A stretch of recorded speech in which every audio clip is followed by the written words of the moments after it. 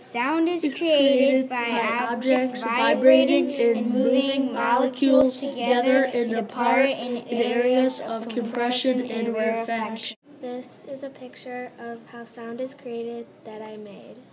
On the left is a rarefaction.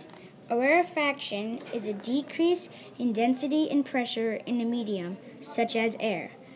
On the right is a compression. A compression is an area which the particles have been tightly packed together. This is a tuning fork. With a tuning fork, you hit an object and it will vibrate, creating air molecules to compress. That creates sound waves. Thanks for learning!